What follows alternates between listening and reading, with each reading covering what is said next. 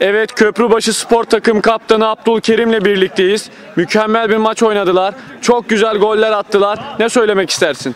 Evet ilk maça oranla daha iyi oynuyoruz.